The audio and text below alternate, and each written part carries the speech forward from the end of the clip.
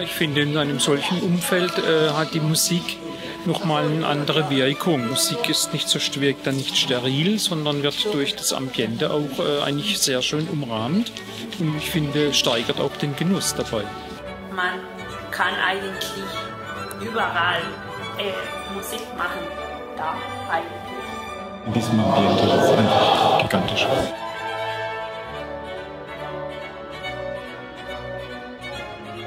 Ja, meine Idee mit diesem Fest ist durch Musik wirklich eine Plattform schaffen für die Verbindung in der Gemeinschaft.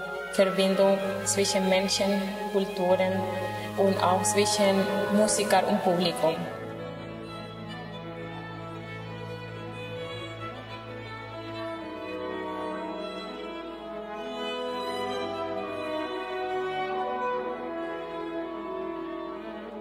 Es gibt Musiker aus verschiedenen Ländern, Kulturen, die zusammenarbeiten, mal ganz neue Besetzungen ausprobieren, auch in verschiedenen Orten zu spielen.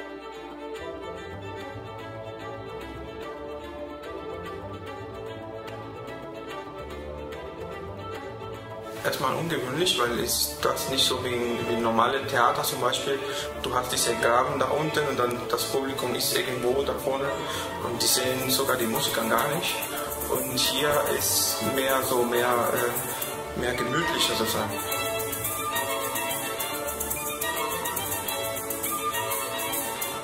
Musik ist in dem Ambiente wirklich ähm, nochmal ein bisschen schöner, weil man natürlich die Natur hat, die Sonne hat und dass man hier entspannt sitzen kann mit einem Glas Wein und nicht äh, im Konzertsaal eingequetscht, ähm, finde ich sehr entspannt und hat was familiäres und dadurch äh, einen ganz entspannten Zugang.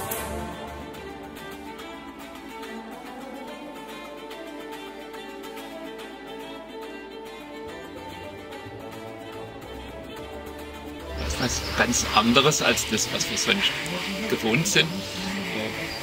Wäre schön, wenn man solche Veranstaltungen mehrere davon hätte. Wir hoffen, dass nächstes Jahr alles möglich wird, sogar noch eine, so ein Musikfestival. Wir freuen uns, wenn wir das gleiche Festival auch nächstes Jahr, vielleicht in noch andere Städte, auch mit Didaktik, also nicht nur also Spielen. Auch ähm, soziale musikalische Projekte entwickeln, auch mal ähm, Projekte für die neue Musikergenerationen mit Jugendlichen und Kindern arbeiten. Durch Musik und Kunst kann äh, man viele Brücke aufbauen und es entsteht eine schöne Beziehung am Ende, alles zusammen. Wenn du halt auf hohem Niveau toll musizierst, dann trifft es die Seele.